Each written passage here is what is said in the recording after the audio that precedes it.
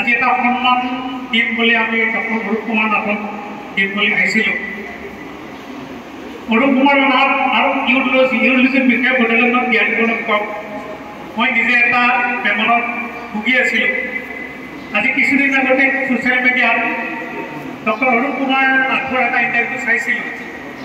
তেখেতে ইউৰলজিৰ বিষয়ে ইমান ধুনীয়াকৈ বুজাই দিছে।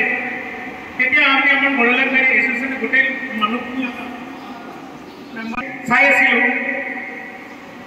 দেখিছোঁ ডক্টৰৰ মাজতে ভগৱান তুল্য ডক্টৰ ডক্টৰ থাকে।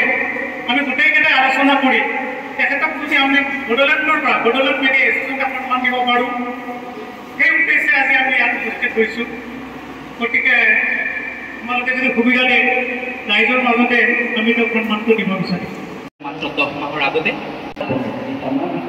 তাৰ বাবে আমি আয়োজন কৰা মিডিয়া মঞ্চৰ প্ৰতিগৰাকী সদস্যৰ ওচৰত আমি চিৰকৃতজ্ঞ হৈ থাকিম